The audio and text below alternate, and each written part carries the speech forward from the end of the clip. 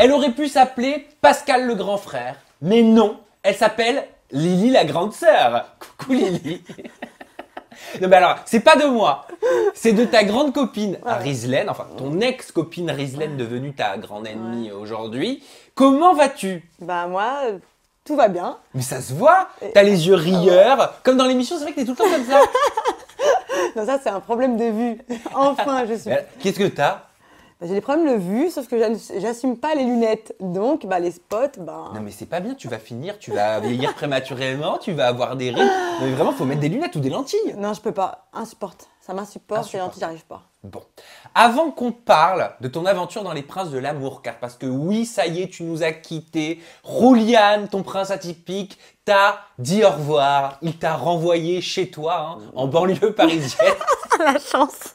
Mais je te dis ça parce que ça te fait beaucoup rire, la banlieue parisienne. Tu viens d'où déjà? J'assume pas. Mais pourquoi t'assumes pas? Bon, j'avoue, je le dis. Plessis pâté. Plessis-pâté Je connaissais pas. Ah, moi non plus. C'est où? C'est dans le 91 Au fin fond du... de la cambrousse. Bon, alors on va, pas, on va parler ensemble de tout. On va parler de Rouliane, d'un baiser en off. Apparemment, il y a du mensonge dans l'air ou pas. Tu vas tout me dire. On va parler euh, d'Elsa, ta copine Elsa, que ma tu as décidé de défendre aujourd'hui. Alors restez vraiment avec nous. On va parler d'Evie, on va parler de Ludivine et enfin de Rizlen, hein, parce que selon elle, tu as totalement retourné ta veste. Mais avant de parler de tous ces petits points croustillants, je veux m'intéresser à toi. Je veux que tu me parles de toi, qui tu es, d'où tu viens, qu'est-ce qui t'amène là? Alors, je m'appelle Lily. euh, de mon surnom, en fait, mon vrai prénom c'est Alison, hein, parce que des fois ça fuse euh, partout, donc moi je clarifie la situation. J'ai 27 ans, euh, je viens de la banlieue parisienne, dans le 91. Le plessis-pâté. Voilà, la honte. J'assume, hein. Et comment on les appelle les gens qui habitent dans le Les plessis-pâté plessis-patois, non Les Les- plessis- les Elle sait plessis-patois. même pas comment on appelle euh, là où elle habite. Les plessis-patois, c'est ça? J'en sais. je préfère pas savoir. Hein. Euh, bref, hein, je tiens un restaurant avec ma maman parce que je suis très famille. Donc on tient un restaurant dans le 91 aussi dans la banlieue.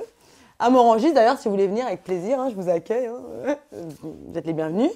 Et, euh, et voilà, je vis en colocation avec mes, avec mes deux petites sœurs depuis plus de trois ans maintenant. Et tu n'as pas toujours été comme tu es aujourd'hui. Exactement. Donc euh, étant jeune, j'avais des lunettes que j'assumais à cette époque, bien Que tu sûr. n'assumes plus aujourd'hui. que je n'assume plus du tout même. J'avais euh, j'avais beaucoup de kilos en plus. J'étais une fille assez forte. J'étais boutonneuse. Et euh, j'étais le pote de tous les garçons. Donc ma première relation était à 20 ans. J'avais les garçons ne voulaient pas de moi. J'étais toujours le copain. Moi, j'en- j'en pouvais plus. Euh, Mais première relation, tu parles de bisous bisous, de relation. Première relation, bisous. Ah, premier, ah, premier bisou Voilà, parce Premier que baiser. j'étais. euh, et c'est dû à justement, euh, en fait, j'ai eu un déclic parce que j'étais vraiment grosse et je me posais toujours des, questions pourquoi euh, aucun garçon voulait de moi. Bon, après, je me- j'ai pris du recul et je me suis dit, peut-être le physique parce que j'étais très forte. Euh, enfin, j'avais- j'avais pas de dégaine. Certes, bah, on ne peut pas être toujours parfait, mais il s'avère qu'on peut changer. Donc, euh, bah, ça a été ce déclic. Je suis tombée amoureuse d'un garçon qui m'a qui m'a qui m'a bâché clairement et qui m'a dit que qu'il ne voulait pas de moi et que je ne serais toujours que son, sa meilleure amie. Donc j'ai dit ok, et j'ai eu un déclic et euh, j'ai pris sur moi et pendant plus d'un an je me suis battue. Euh, ma mère m'a aidée. Ma mère m'a aidée parce que je suis tombée en dépression et elle m'a aidée à reprendre euh, sur moi confiance. Ça c'est très dur. J'ai été voir un psychologue mais j'étais jeune. C'était plus parce qu'en fait après, bah, c'est pour ça que maintenant je suis focalisée sur le poioi. Je suis très très focalisée sur mon poids, sur mon apparence. Quand je t'ai proposé un café, tu m'as dit surtout pas de sucre. Tu m'as Voilà. dit euh, de l'édulcorant ou de la stevia. Donc, tu- L'aspartame. de l'aspartame. C'est-à-dire même le, le morceau de sucre, tu essaies de tout contrôler dans ton alimentation. Voilà, j'essaye le maximum, même si des fois je craque. hein. Des fois, on va dire que là, par exemple, euh, pendant le tournage, j'ai pris 7 kilos, j'étais au bout de ma vie. Euh, c'est vrai que maintenant, je fais très très attention à mon physique. Euh, beaucoup me critiquent sur mon apparence. Euh, ils disent que je fais des fois vulgaire, euh, que je suis excentrique. Euh, non, c'est juste que maintenant, bah, j'ai juste pris confiance en moi et euh, le- j'ai tellement été jugée étant jeune que maintenant, bah, tout ce que les gens pensent de moi, ben, ça ça m'atteint plus. Est-ce que c'est pour ça que tu mets aujourd'hui ta, ta jolie poitrine en valeur Que tu mets tes atouts, quoi, clairement, euh, en valeur? Une femme, elle met souvent ses atouts en valeur, c'est Bah ce voilà, que tu fais. euh, je pars dans l'optique où j'ai des atouts, donc je vois pas pourquoi les cacher. hein. Je vais pas arriver en voile ou, ou je sais pas, ou cacher. moi, c'est pas mon truc, donc je me plais, je m'assume et j'ai rien à prouver T'as à utilisé le bistouri un petit peu ou pas? Eh, Je vois le sourire. Moi, je peux te dire que oui. Un petit peu. Un petit peu. Alors attends, je devine Ouais, tu veux. Ok. Alors attends, je vais passer ma main comme un scanner et quand c'est chaud, tu fais bébé ou un truc comme ça, ok? Ok. Bip. Attends, bip là? Non. Bip là Bip, bip, bip. Bip bip bip. Donc là, c'est pas des vrais. Mais j'assume. J'assume tout, moi. Tu l'as fait à quel âge? Bah, C'était où, cette année. Ah, c'est récent. Juste après euh, le tournage. Après le tournage? Ouais, ouais. Je faisais. euh, En vrai, je les ai fait deux fois, mes poitrines. Attends, t'as fait tes seins deux fois en moins d'un an? Voilà. En huit mois, quoi. Mais Exactement. qu'est-ce qui s'est passé? Bah, j'étais très très complexée de ma poitrine et du fait que j'étais assez forte aussi, enfin plus forte que maintenant. euh, je, je trouvais que c'était pas proportionné. Donc ben, j'ai pris la décision de, de me refaire une fois la poitrine.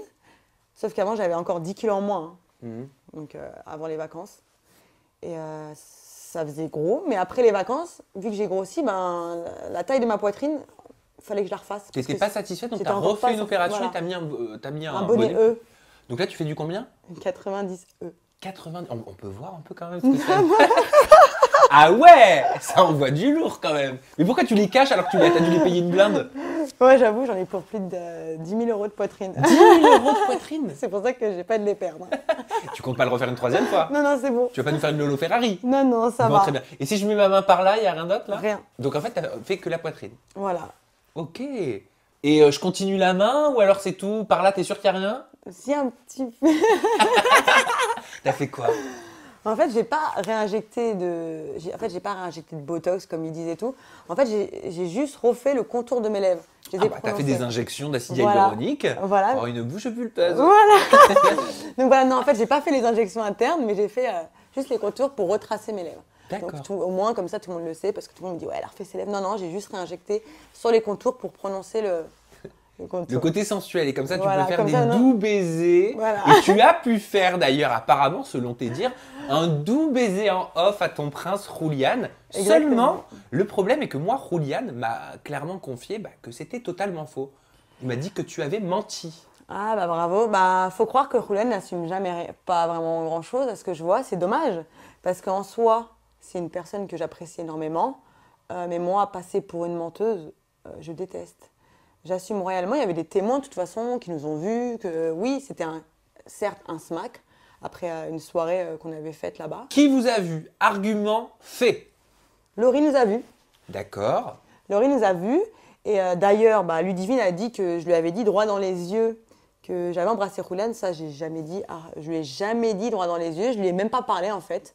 La seule personne qui a été voir Ludivine, c'est Laurie qui s'est précipitée en lui disant qu'elle nous avait vu euh, Rouliane Donc et elle moi. vous avait gaulé. Voilà, Mais exactement. alors pourquoi il dit que tu mens? Pourquoi tu dis qu'il assume pas? J'en sais rien. Je sais pas à qui veut prouver quoi que ce soit, mais euh, enfin c'est rien quoi. Un baiser, c'est. C'est rien. hein. C'est rien, ouais. C'est pas comme si on avait couché ensemble quoi. Oui, carrément. Bah, pourtant, il y a des rumeurs de, de Ouais, bon, coucherie. hein. Ça par contre, vous voyez, ça, ça je, je comprends pas d'où les Alors gens vous inventent voyez, alors attends, déjà tu vas me dire tu vois. Parce que là tu m'as vous voyé, ça. chérie. Pardon, pardon. J'ai pas 40 balais, hein on a le même âge, je crois. Oui. Donc vas-y, poursuis. Donc euh, oui, oui, il y a aussi des rumeurs euh, concernant moi et comme quoi on a couché ensemble. Euh, ça aussi, je veux clarifier la situation. Ça, par contre, c'est faux. Ça, Ah. par contre, c'est faux. Je pense que j'ai 27 piges. Clairement, si j'ai envie de faire quelque chose avec mon derrière, je le fais et je l'assume. Donc j'aimerais qu'un peu les gens s'occupent de leur derrière parce que je sais que certaines personnes, cette personne en question et surtout Rizlen, Rizlen qui est venue le dire et qui l'a encore dit bah, dans un de tes interviews, enfin elle a fait comprendre, donc on n'est pas teuteux, hein, n'est pas teubé pour euh, deviner qu'elle parle de moi. Euh, je sais pas, moi ce que j'en ai, ai marre aussi que les gens disent on m'a dit. Donc quand tu dis A, dis-moi Z aussi ou B ou ce que tu veux, mais me dis pas A, on m'a dit, blablabli, mais me dis pas les noms. Donc je sais pas, moi je pars dans l'optique où si je dis quelque chose, j'assume que je le dis. Donc euh, elle, quand je lui ai parlé, et le pire dans tout ça, c'est qu'à Rizlen, je l'ai eu au téléphone. Je l'ai eu au téléphone et je lui ai dit, on a parlé de cette situation, on s'est dit les choses. Et elle m'a dit, non mais Lily, je te crois et tout, t'inquiète pas, euh, je vais enlever, parce qu'elle avait fait une vidéo, madame avait fait une vidéo sur moi en disant que j'étais une petite traînée, clairement, que je m'étais fait troncher par tous les mecs de la chambre, par six mecs, euh, devant tout le monde, que des trucs comme ça. Euh, je sais pas, meuf, réfléchis. Tu m'inventes une vie, tu, tu te bases à partir de on dit, tu viens pas me voir qu'on a déjà vu la situation, et tu persistes. Donc elle évoquait une partout. Je sais pas ce qu'elle a évoqué, mais elle a dit que je m'étais fait, euh, que j'avais ouvert les jambes, ce que j'ai pu comprendre, euh, Ouais. dans une chambre euh, où il y avait les six, où il y avait six mecs. Donc après, euh, Oui, après on comprend le on, truc comme voilà, on veut, quoi. on peut interpréter la chose comme on veut. Sauf que moi, derrière, j'ai un- j'ai des gens qui vont me regarder, qui vont entendre son interview, clairement. Mm. Je passe pour qui Elle m'invente une vie à moi, je sais pas, elle peut pas s'occuper de son derrière. Mais Julian, juste pour revenir dessus, t'as dormi avec lui. Mais Oui. il s'est rien passé. Rien passé. Il n'y a même pas eu des petits touchis touchas. Euh, non, non, non. Je... Mais pourquoi tu fais. euh, Non, comme non, ça non, c'est Pourquoi pas ça ça. te c'est- dégoûte Mais c'est pas ça. On est dans une, dans, dans une télé déjà, Ouais. entouré de plein de personnes. Euh, Il y a Marina, il y a Brandon qui est collé à mon lit. euh, Je Il y en a pas- qui ne sont pas gênés dans d'autres téléréalités. hein. Chacun ses problèmes. Mais moi, personnellement, en tout cas, chacun fait sa vie. Moi, je m'occupe pas de leur, leur derrière. Mais moi, euh, je, je peux pas. Je ne peux pas m'afficher à l'écran euh, en faisant des trucs comme Donc vous êtes bien embrassé ça. Exactement. Par contre, c'était où? C'était euh, à l'entrée de la chambre des garçons. Il y a eu la langue ou pas? Non, c'était un smack. Ah, c'était juste un smack? Bah ouais. En plus? En plus, c'est pour ça que c'est ridicule. Mais est-ce qu'il embrasse bien? Bah, je peux pas le dire. un smack. euh, Je sais pas, si, tu peux. Il y a quand même une alchimie, il y a une, des effluves corporels. Bah, en fait, on avait peur de, de se faire voir, donc on avait. Et hop, tchou, sauf qu'on s'est fait voir. Bon, alors tu peux pas me dire euh, si c'est un dieu du baiser. Voilà, je peux pas te confirmer ça encore. Julian, c'est quoi vos rapports aujourd'hui? On se parle presque plus. Presque Il m'a dit que tu lui envoyé beaucoup de SMS. Oui, en fait, je lui envoie des SMS parce que euh, moi, je déteste. Quand je lui envoie des SMS, c'est pas pour lui personnellement, parce qu'en vrai, euh, à ce jour, je- j'en ai rien à faire, clairement. C'est juste parce qu'à chaque fois, ça revient à mes oreilles. Oui, il paraît que tu as couché avec Juliane. Oui, il paraît que. Donc moi, je lui dis écoute, porte tes cojones un petit peu et va dire aux gens qu'on n'a pas couché ensemble. Et aussi pour l'histoire du bisou, parce que quand on vient me voir, euh, quand l'émission a été diffusée, qu'on vient me voir, ouais, espèce de mytho, euh, tu t'inventes des vies, t'es une mythomane et tout, bah ouais, bien sûr, le mec, il est le seul responsable dans la situation. Je vais pas faire comme les gens, comme Rizen, à aller blablater à droite à gauche. Moi, je veux voir directement la personne concernée. Et je pense que les seules personnes concernées dans l'histoire, c'est moi et Juliane. À ce propos, il m'a dit, Julian, que tu lui envoyais donc beaucoup de textos et qu'il avait d'autres chats à fouetter. Ah bah bravo C'est vraiment un égoïste ce mec. Il pense qu'à sa personne. De toute façon, j'avais commencé à le cibler parce qu'à chaque fois que je reviens vers lui, le mec, quand ça l'arrange, comme je disais avec Elsa, on parlait d'ailleurs de ça, euh, le mec, quand ça l'arrange, il répond. Avec Elsa, il se calculait presque plus. À ce jour, il appelle tout le temps. hein. Qu'à son intérêt en fait. C'est un mec qui pense qu'à son intérêt. Apparemment, alors on va soulever un dossier euh, polémique, un dossier important, parce que je vais te parler de Stacy, et apparemment, Julian connaîtrait donc sa prétendante Stacy, qui serait une amie à lui dans la vie de tous les jours. Je voulais savoir si toi tu avais eu connaissance de ces oui-dire, qui t'en avait parlé, et quel ressenti est-ce que tu avais eu pendant le tournage? Alors moi, je vais être claire. euh, oui, il y a beaucoup de personnes, euh, parce que je suis vraiment soutenue euh, dans les réseaux maintenant. donc, il y a beaucoup de personnes qui m'ont dit qu'ils avaient vu un, article sur Melty en disant que Julian connaissait Stacy. Enfin, il n'a pas cl- clairement dit le nom, mais on n'est pas bête non plus à ce niveau-là. Après, justement, après le, que Ludivine parte, très prochainement, une amie à moi euh, va venir dans l'émission. Elle n'est pas de mon style, mais euh, je l'aime bien. Il y a un bon feeling, bon délire. Je sais pas. euh, Ça, c'est ce qu'aurait dit Julian. ça, non, c'est dans le dans l'article. Ah, tu parles de choses comme ça. l'article. Voilà, de l'article. Donc les gens sont pas bêtes, ont vu comme moi l'émission. C'est vrai que quand Stécie, elle arrive dans l'émission, on, on a l'impression qu'elle est en terre conquise.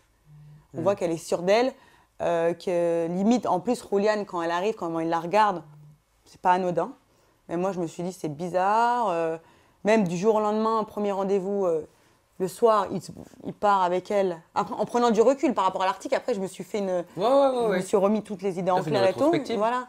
Et euh, je vois que c'est vrai, quand j'y pense, le mec, il est pudique. Euh, il s'affiche pas à l'écran. Il dit qu'il s'affiche pas à l'écran. Il est pudique, euh, qu'il aime pas être tactile avec les gens. Il me sort plein de trucs comme ça, qu'il a des principes, des valeurs, ça, ça, ci, ça, ça, ça. Au final, la veille, il me dit qu'il me garde la raison du cœur. Il écoute pas sa mère. Dans ces cas-là, vire-moi. Parce que si le lendemain, une nouvelle, elle arrive, tu me dis que tu la connais pas et hop, c'est gros feeling alchimie, me prends pas pour une bête.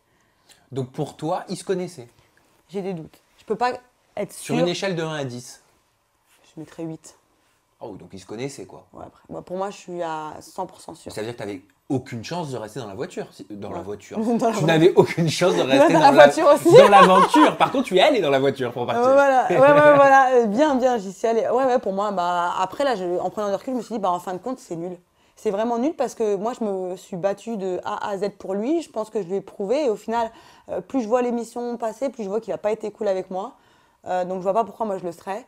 J'ai toujours voulu le défendre, j'ai toujours voulu le couvrir par rapport à ses principes et ses valeurs parce que oh là, c'est un gros tout.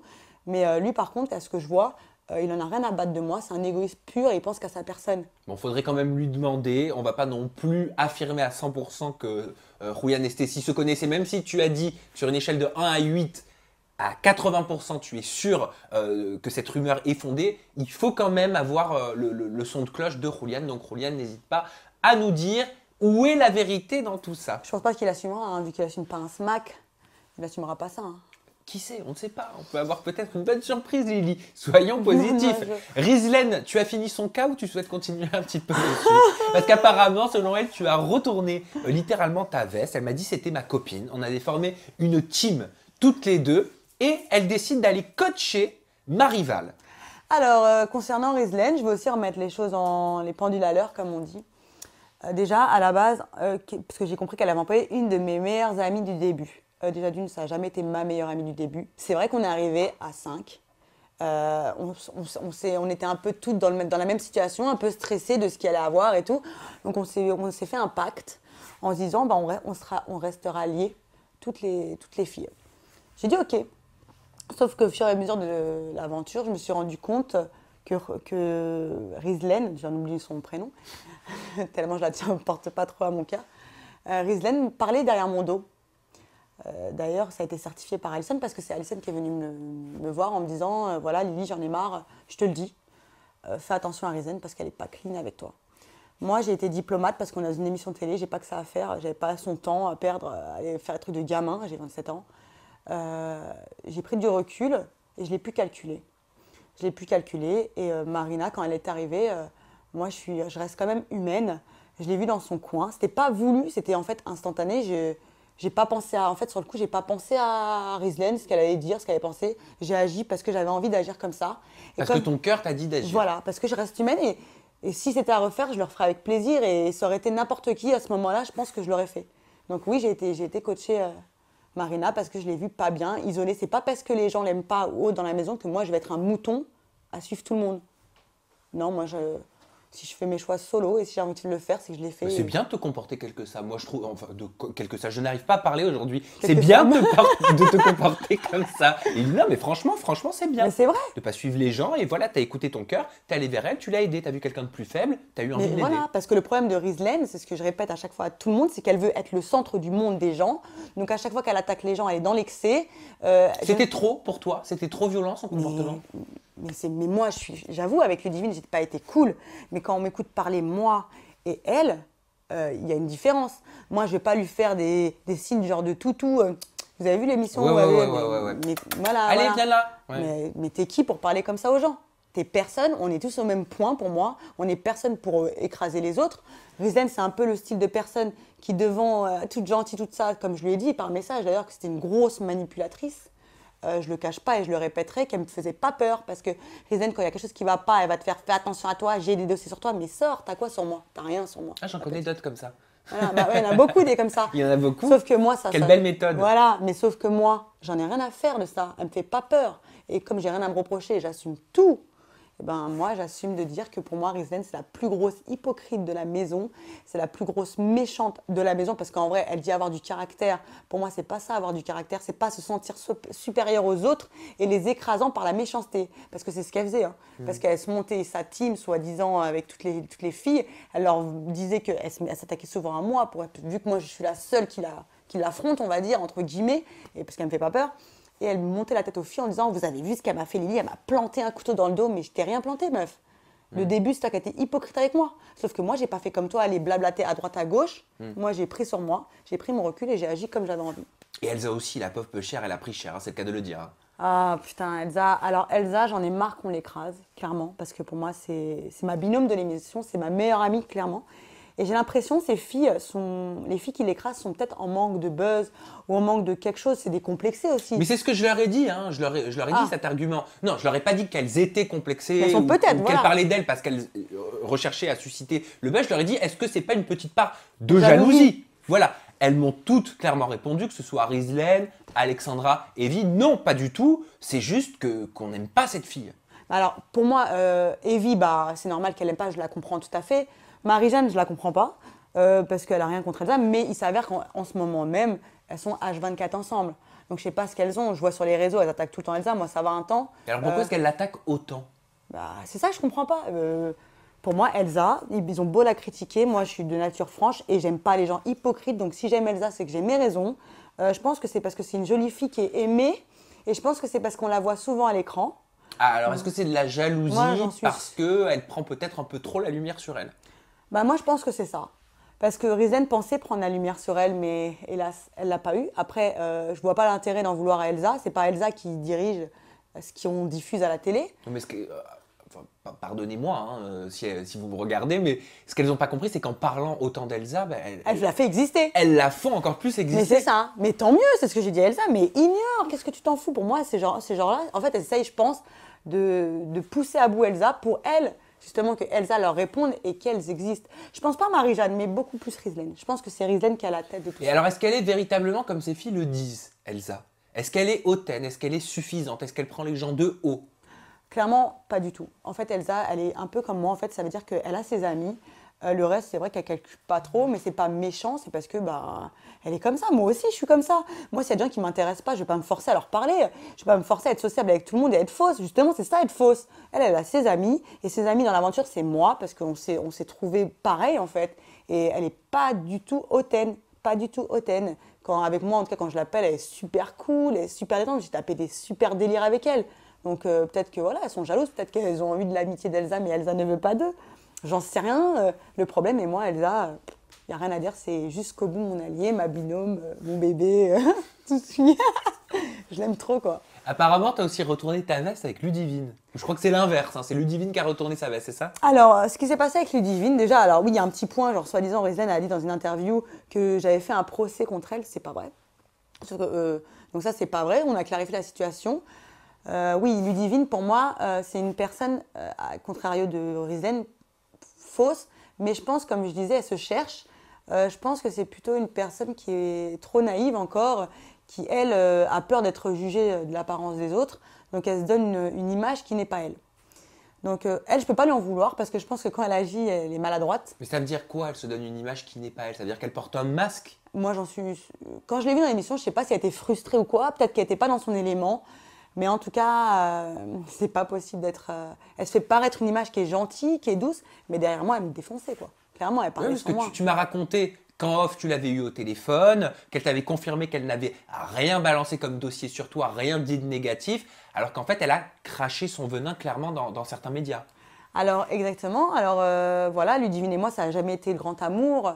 Jusqu'à qu'un jour, bah, j'apprenne qu'elle fasse un interview et qu'il s'avère qu'elle a dit des choses sur moi que j'étais pas au courant. Euh, elle m'appelle, elle me dit voilà, euh, parce que moi j'étais énervée sur le- les réseaux, je dis je comprends pas les gens hypocrites, moi quand j'ai quelque chose à dire, je le dis en face. Donc elle m'appelle, elle a vu mon tweet, elle m'appelle et elle me dit oui Lily, euh, voilà, je veux clarifier la situation entre toi et moi. Euh, j'ai- voilà, je comprends pas, t'inquiète pas. euh, moi j'ai rien dit de mal sur toi en interview, j'ai juste dit ce que je pense. Je suis ok, bon bah ok. Elle me dit j'aimerais bien qu'on arrête ça, qu'on arrête peut-être que peut-être qu'on essaye de comprendre pourquoi on s'aime pas. Et moi je le dis parce que pour moi t'es une personne fausse, une personne qui veut donner une image, blablabla. Donc ok, moi je fais ma petite vie le soir je reçois une tonne de messages. euh, Je dis c'est bizarre. Je regarde mon téléphone, t'as vu l'interview de Ludivine, t'as vu l'interview de Ludivine? Je fais non, bah non, mais il a l'air d'être euh, hard pour, que, pour recevoir autant de messages. Bah, bien évidemment, Ludivine m'a massacré dans l'interview en disant que j'étais une crasseuse, une mythomane, une fille qui avait besoin d'un. pourquoi elle l'a pas assumé? Pourquoi elle te l'a pas dit au téléphone? Euh, Bah ouais, j'ai dit que t'étais une crasseuse, Bah, une c'est mythomane, ça. je sais pas. Bah voilà. Voilà, peut-être qu'elle avait peur que, de le, que je le prenne mal, mais je pense que je l'aurais pris mieux que de Carrément. l'apprendre vers les autres. Mais c'est pire de le voir, de le constater après quand on te dit non, j'ai rien dit sur toi. C'est ça. Bah moi, j'ai, franchement, j'ai été déçue. Après, là, en fait, comme je lui ai dit la dernière fois, quand je l'ai, quand je l'ai appelée, je lui ai dit, Clash, tu t'es foutu de ma gueule. Elle m'a dit non. Et ben, je lui ai dit, mais là, en fait, tellement elle me fait de la peine, cette fille, que je suis, je, je la déteste. Comme je dis, je la déteste, mais en même temps, bah, je suis peinée pour elle parce que son cas me, enfin, m'attriste. Mais est-ce que tu sais pourquoi est-ce qu'elle se comporte comme ça? Bah non, je sais pas, et je pense que toi non plus, tu pourras pas le savoir, parce qu'il paraît qu'elle ne veut pas venir à ton interview. De quoi? Bah je sais pas, c'est ce qu'elle m'a dit, donc elle m'a dit qu'elle ne Attends, voulait elle t'a dit quoi? Alors quand ou comment? Ah, tu savais pas Ah bah non, mais c'est pas ça, c'est que moi je connais la vraie vérité. Donc ça m'étonne vraiment ce que tu me dis là. Euh, Bah non, bah, j'ai vu Ludivine récemment, euh, et je lui ai dit, bah après tu fais pas l'interview de Sam, elle m'a dit, non, non, je veux pas faire l'interview. Mais elle assume pas, mais c'est pas possible. Mais tu mets... Attends, attends, attends, attends. Elle a chialé par le biais de son attaché de presse, hein, pour faire justement mon interview, seulement je la refuse. Je la refuse parce que déjà, comme j'ai dit à son attaché de presse, que je, je lui ai dit, Ludivine n'a qu'à m'appeler directement. Je pense qu'elle est assez grande pour pouvoir me parler si elle a envie euh, de faire mon interview. Et puis c'était tellement compliqué, hein, on aurait dit que j'allais recevoir euh, Favoto de Danse avec les stars euh, ou, Beyoncé, que j'ai répondu que je n'avais pas l'habitude de travailler de cette façon-là et que de toute façon je ne la recevrai pas. Et comme je n'aime pas les mensonges, je dois avoir encore le texto. Alors attends, j'espère que je ne l'ai pas effacé.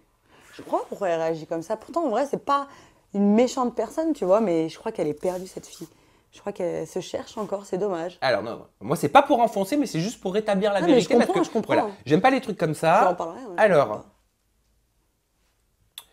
Alors j'ai dit à son attaché de presse, eh bien dites à Ludivine que sa méthode n'est peut-être pas la bonne, je ne travaille pas de cette façon-là, entre Ludivine et moi ce n'est pas moi qui ai besoin d'elle, je suis navré, je ne suis pas intéressé pour une ITV avec Ludivine. Et tu vois tous les messages, Sam, je suis en train d'expliquer à Ludivine qu'il faudrait qu'elle fasse ton interview, le 5 décembre. Tu aurais de la place, je réponds pas, Sam, Ludivine veut bien pour l'interview, tu peux la recevoir quand? Voici son portable, salut Sam, as-tu pu joindre Ludivine? Et je ne réponds à rien. Tu vois bien que je ne mens Non, pas. non, je te crois, moi je te crois, hein, je sais. Donc moi je- suis désolé, au bout d'un moment, faut Non, pas se prendre comprends. pour une star, c'est du divertissement, c'est de la télé-réalité, faut arrêter de se prendre un petit peu pour ce qu'on n'est pas dans ce milieu-là. Merci, au revoir. Ouais, c'est clair. Bilan de ton aventure, qu'est-ce que tu retiens? Franchement, euh, génial. Euh, j'ai kiffé mon aventure, que ce soit malgré qu'il y a eu des hauts et des bas. euh, j'ai fait des super rencontres, j'ai passé des agréables moments et j'ai appris davantage à vivre en communauté, qui n'était pas forcément de mon plus T'es une grand- solitaire, toi. Voilà, très solitaire. Un loup solitaire. j'ai un, j'ai un très très fort caractère et on va dire que j'aime pas vraiment grand monde parce que je suis trop, je pense, trop vrai.